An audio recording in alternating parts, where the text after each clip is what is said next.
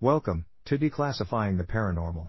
Here we reveal the secrets that sinister organizations attempt to conceal from the world, objects and entities that could shake the very foundations of what we think is, and is not, possible. Today we have secured documents belonging to the SCP Foundation, and will reveal to you the nature of SCP-6039. Item number SCP-6039 Object Class Uncontained Special Containment Protocols Direct containment of SCP-6039 is unfeasible. Public media pertaining to the existence of SCP-6039 are to be expunged by Foundation web crawlers and civilian witnesses are likewise amnesticized. Due to the age demographic SCP-6039 targets, no further procedures are necessary for those who claim regarding SCP-6039 activity. Update Attempts at establishing communication with SCP-6039 is currently pending. Description SCP-6039 designates an animate stuffed bear, exhibiting signs of sentience, sapience, and an average level of intelligence. Measuring to a height of around 45 centimeters, it is brown in coloration and wears a bow tie around its neck. The entity is capable of transporting itself from one location to another almost instantaneously. SCP-6039 typically presents itself within the proximity of a child, aged 12 or younger, when they are alone and currently sustaining an injury or ailment of some form.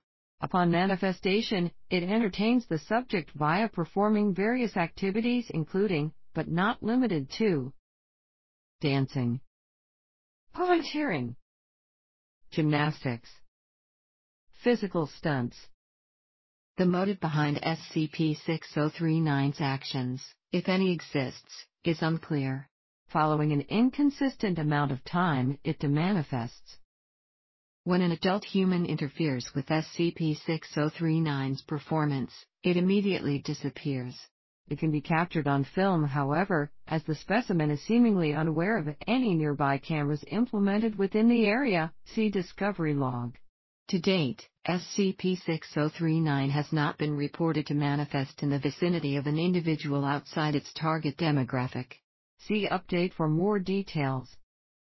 Addendum Materials Discovery Log SCP-6039 was initially brought to Foundation attention following the dissemination of a home security video on the social media platform Facebook, consisting of SCP-6039 playfully interacting with three-year-old Daisy Newston, the daughter of Audrey and Jeffrey Newston. The film was taken down shortly after, all involved civilians were amnesticized. A copy of the aforementioned video is attached below for the sake of debriefing. More footage regarding SCP-6039 is available upon request. Security cam footage. Begin log. Note, Daisy had a minor cut on her left leg at the time of recording. Daisy is seen sitting and clumsily interacting with the various alphabet blocks laid scattered across the living room carpet. As she attempts to place a block within her mouth, removing her pacifier, SCP-6039 manifests on the arm of a couch following a sudden burst of light. This does not alert Daisy however, as she has her back turned to the entity. SCP-6039 performs the cartwheel towards her line of sight, which manages to grab her attention. She places down the block from her mouth on the floor while staring intently. SCP-6039 silently waves at Daisy, she does not respond. After a brief moment of silence, SCP-6039 reaches and takes out two crudely decorated sock puppets from behind itself, resembling Audrey and Jeffrey Newston. It is uncertain where SCP-6039 had placed these puppets. SCP-6039 proceeds to do a performance using the sock puppets. Throughout the recording, SCP-6039 can be seen walking hastily to other spots within the living room area. Daisy is seen occasionally laughing and clapping during the specimen's play. Following the cessation of SCP-6039's performance, it returns to its previous position. It then bows and waves again. Daisy proceeds to stand up and approach SCP-6039 before briefly embracing it. The anomaly does not react to this. Afterward, she takes a step back before tumbling down, wherein SCP-6039 abruptly demanifests. A short pause ensues before Daisy returns to her position during the beginning of the footage. End log.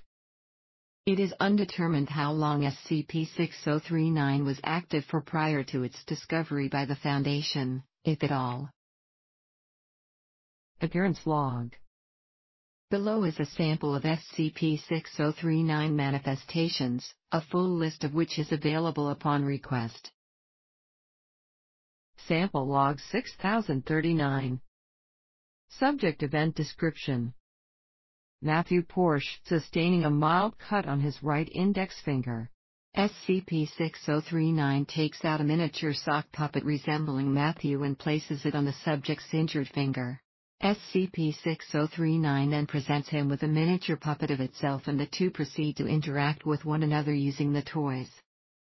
Jesse Steinfeld, undergoing a common cold, SCP-6039 is riding a unicycle around Jesse's room for the duration of the footage. The entity bows while Jesse applauds, after which it demanifests. Rudy Hops, suffering from a fractured arm. SCP-6039 takes out a black Sharpie marker and signs Rudy's cast. It spends the rest of the recording assisting the subject as he cleans his room. Danny Nelson, paralyzed from the hips down. SCP-6039 presents itself in a pirate costume and does a performance, with Danny actively engaging in the play using his hand as a puppet. The specimen demanifests on the subject's lap following the show's conclusion. Bethany Goodwill, suffering from leukemia. SCP-6039 is immobile throughout manifestation. Bethany spends the recording cuddling the anomaly in her arms. Update on March 29, 2021, senior researcher Charles Peterson, head researcher for SCP-6039, had arrived to the facility considerably late, refusing to answer why. He was reportedly more lethargic and unmotivated than usual, performing poorly in his work as a result. Peterson was also informally dressed and had bags under his eyes, presumably due to a lack of rest Peterson decided to spend his break period within his office, where he promptly fell asleep undisturbed. Moments later, SCP-6039 had unexpectedly manifested near Peterson, with its subsequent interactions being caught on tape. The recording is as follows. Transcription log. Begin log. Peterson is quietly asleep in his office chair, resting his head atop his desk, stained with a clear liquid, later identified as tears. He holds onto a framed photograph. SCP-6039 manifests off camera, as noted by the sudden flash of light. After a brief moment, it gradually approaches Peterson from behind, one step at a time. It stares at Peterson's face. Once close enough to Peterson, SCP-6039 proceeds to silently embrace his left leg. Both parties remain in the same position for 23 minutes. After the time period, SCP-6039 lets go, glancing at Peterson's face once more before abruptly demanifesting. Peterson wakes up thereafter. Peterson briefly inspects his left leg before noticing the liquid stain on his desk. He takes out a handkerchief from his pocket and cleans it. Peterson then tidies himself up before exiting his office. End log. Following this, Peterson returned to normal conditions, though noted to have stated that he had felt a warm sensation when prompted regarding the footage above. No further abnormal activities pursued. A brief inspection of Peterson's office revealed a crumpled up note containing a crudely written message. It reads, I'm deeply sorry for you, sir. You must be devastated. He was quite the wonderful fellow, I agree. I thank you heavily for letting me take care of him whenever you're away. And don't worry, despite how time consuming work can be, I'm sure he still loves you. Bearsitter Investigation into Peterson's activities outside the foundation has discovered he had attended a funeral the day before dedicated to his late son, Nate Peterson, who recently passed away due to his rapidly declining health at the age of 11. Thank you for tuning in, we hope that you enjoyed this broadcast. If you did, please subscribe, like, and share it around. If you have any particular case files you'd like us to cover in future broadcasts, leave a comment below and we'll get around to it shortly. Tune in again tomorrow for more revelations.